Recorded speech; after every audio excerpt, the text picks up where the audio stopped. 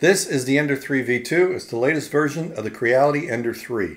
I've been printing on this and it's been working well. And I know a lot of people are getting Ender 3 V2. So I thought I'd show you how to assemble one and how to update the firmware right here at Filament Friday.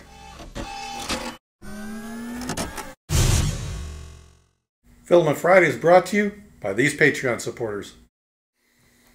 I did do an Ender 3 assembly video and I didn't follow the manual exactly which I got a few complaints over. So on this one, I'm going to follow the manual and I'll just show you tips along the way. And the first step is it wants me to install these uprights on the base. And this one has two holes, which normally would mount the power supply in Ender 3, but the power supply is inside the base.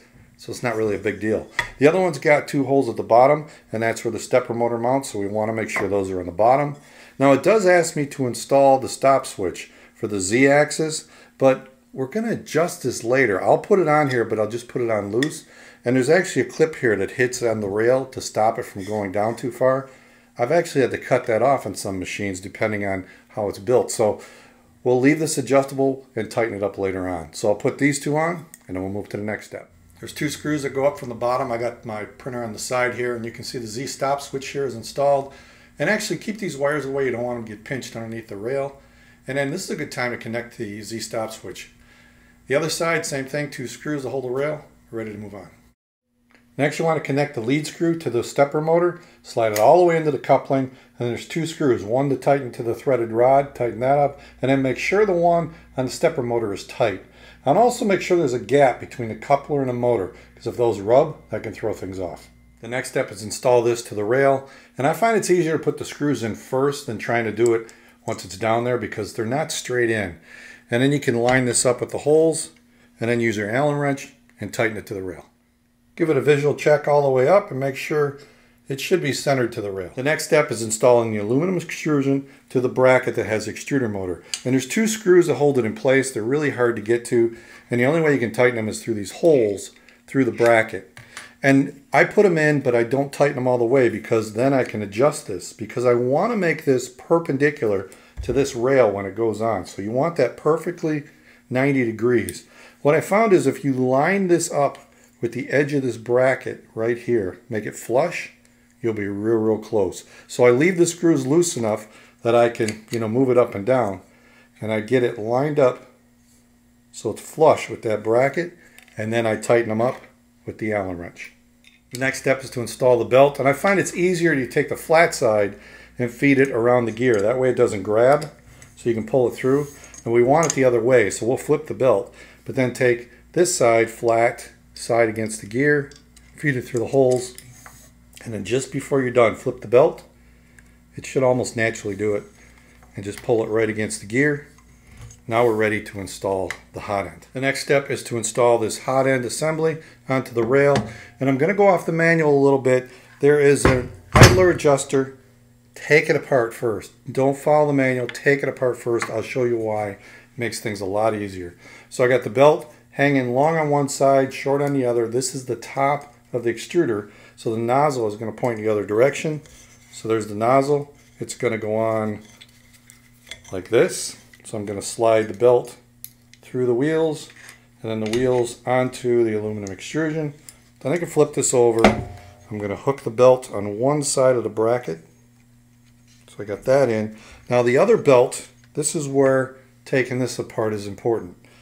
I can take the belt, slide it through the idler, and just let that thing dangle.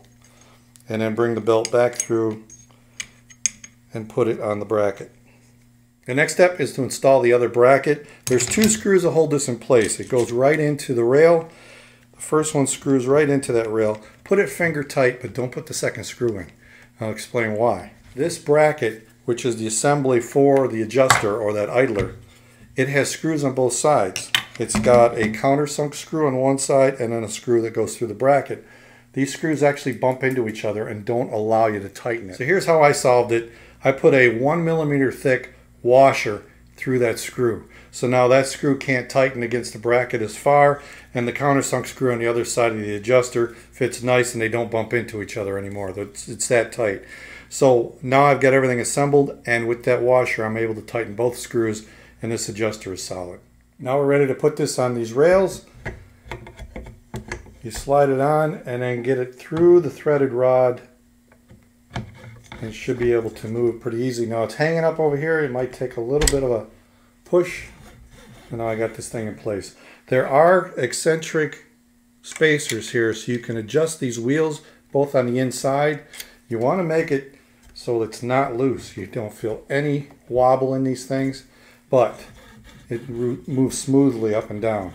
This thing is moving really, really smooth. Now what I like to do is bring this all the way up so it's spaced nicely. Then we'll put this top bar on with the four screws. And once you get your eccentric wheels tight and you put this bar on here, I haven't tightened it yet. This is a great time to check the distance between this bar and the cross member. And it should be equal. And if it's off, this is a great time. You can just take this off, slide this thing back off, adjust those screws on this bracket, and shift this arm a little bit until you get it nice and parallel. I actually had to adjust mine slightly, so mine is slightly above flush, but now they're equal on both sides. Now you also want to make sure your wires and PTFE tube are under the bar, not on top of it. And then I put the coupling on now. It said to put it in earlier, but I like to push it onto the PTFE tube and then put the little blue lock on it and then hand tighten this in place because I don't tighten this all the way, you know, with a wrench because a lot of times when I'm feeding filament, I have to unscrew this to get the filament to go through. So I just hand tighten it, everything's fine. And I can put this wire in this little lock right here. Now there are some connectors for the steppers. They're all labeled. So this one says X, this one says extruder. So we'll put that one in the extruder. And again, this is a little bit out of order, but I'm right here. I might as well do it. And then I do have one for the X switch. So this goes into the end here and you may need a pliers to do that and then this goes on to the X motor right there.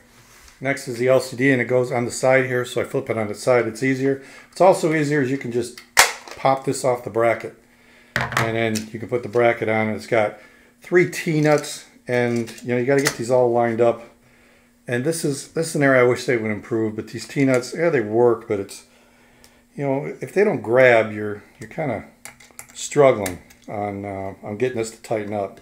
But it looks like I got it here. So there's three different ones. You tighten them up. And the angle of this LCD makes it really hard to see, but there's no adjustment. And then there's one connector that comes here. It's keyed, so it can only go on one way. And then you can slide that guy in place and your LCD is connected. Last step is a spool holder. It goes on top with two T-nuts and then the actual spool holder bracket twists in place. And on these machines and actually the new Ender 3s as well, there's now a metal insert on this arm so that filament coming down doesn't wear through the arm as easy. So that's a benefit that's been on some of the newer Ender 3s for a little while now. I still like mounting on the side, but you can mount it here and not worry about it rubbing through the arm. I connected most of the connections. The only one left that I had to do was the Z connection right here. And I also had to switch the switch back here from 230 to 110 because I'm in the US. Otherwise, it won't work properly. Now, before I can level the bed or turn this thing on, I also noticed this. Look at how loose this bed is. There are eccentric spacers underneath this to tighten this up. I probably should have done it before I assembled all this, but now I can get in there with a wrench and tighten this up so this bed isn't loose like this. I got the bed tight and moving smooth, and I tightened the springs till they're a little more than halfway squished, and then I brought the nozzle down to the middle of the bed till it's just touching, and then I adjusted the Z-stop switch right here. I just loosened those two screws and pushed it up until it clicked, until the switch clicked. That way I know when this thing homes, it's not going to jam the nozzle into the bed. Power is on. The microphone's pretty close. All I'm hearing is the power supply fan and the fan for the hot end. It's not too bad. Now I can pop this display off like I showed, and I can control this from back here. So I'm actually going to home it, and we'll see how quiet it is with these silent drivers. Not too bad. It's pretty quiet. It's going to X, the Y, and now the Z, we'll see if it's going to nail the bed or not. See if I got that Z switch right. And perfect. Stop just before. So now before I go through and level this thing, What I actually want to do is see if I can update the firmware. Updating the firmware on a V2 is so much easier than a standard Ender 3. There's no bootloaders to install, no Arduino or programmer to connect. You do it all just through the SD card. You go to Creality.com. I'll put a link in the description below to all their downloads. There's a version 1.01 is the latest. You download that file, put it on the SD card, and rename it firmware.bin. I suggest you use a separate SD card with just that file, firmware.bin on it, and nothing else. Now we're ready to update. So here is where we're at. I hit info, and here we're at version 0.0.9. Now I shut power off, insert that SD card with firmware.bin, turn power back on, and the screen will go blank for a short period of time. Then the Creality scroll will come across, and then the menu. We go to info, and you can see we're now at version 1.01. My bed leveling G-code won't run on this firmware yet, so I manually leveled it, and it turned out fine. I did print a CHEP cube as a first test print. Not perfect, it's got some stringing, but a good first print. As far as getting my bed level G code to work with the V2, I am working with Scott Lahteine, the head developer at Marlin. He did find a bug and he's fixing it that will make my code work in the future. So when I have more on that, I'll let you know right here.